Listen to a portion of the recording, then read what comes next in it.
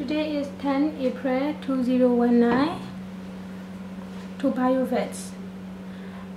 One of the owners saw the birds uh, injury the right sides of the wing and then she bring the bird to the clinic for the treatment.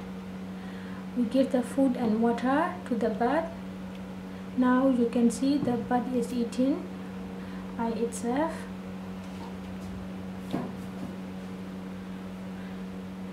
Now we do the wound cleansing of the bird already. I want to show the before before cleansing photo.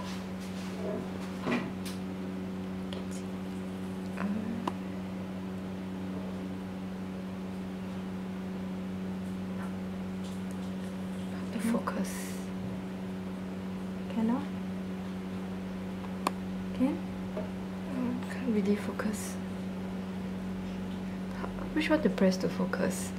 Just just Yeah, this one is zoom. press. Oh, just press. Yeah. Okay. You want to start again? Okay, you can start again. Yeah. It says